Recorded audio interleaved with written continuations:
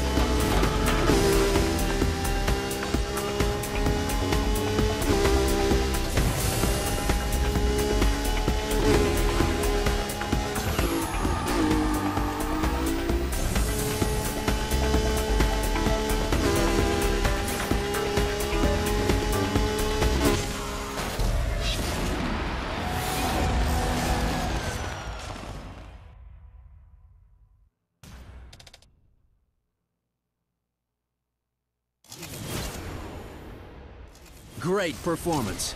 The Nakamura Racing SI7 has been delivered to your junkyard.